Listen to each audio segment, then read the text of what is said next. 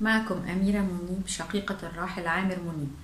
شرف لي أن يقترن اسمي باسمه وشرف لي أكتر إني أقول إن كانت أمنيته الأخيرة تلاوة القرآن الكريم بصوته وتسجيله.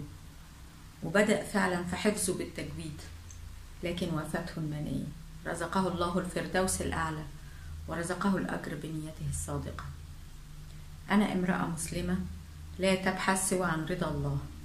ولديها قناعة اكتسبتها من كلمات الرسول صلى الله عليه وسلم في حديثه الشريف.